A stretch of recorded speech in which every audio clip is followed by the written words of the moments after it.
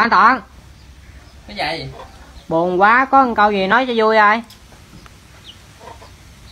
Ngồi buồn không biết làm chi. Ừ. Thôi thì nằm ngủ ngồi chi chứ nó buồn. Trời ơi tới công chuyện không đó rồi. Hai anh hai hả? Hiện tại bây giờ luôn á là anh sợ cái con gì nhất? Hiện tại bây giờ á? Ừ. Hiện tại bây giờ á là tôi sợ nhất là con virus corona. Đúng rồi. Nhưng mà về lâu dài tôi vẫn sợ vợ tôi hơn mày ơi. Á đồ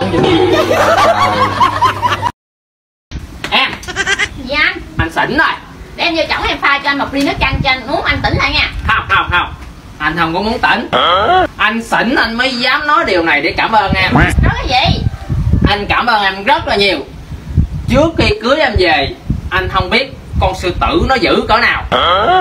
Nhưng mà từ khi cưới em về rồi á anh mới biết rằng con sư tử ngoài dữ ra nó còn biết phi chổi với chổi dép nữa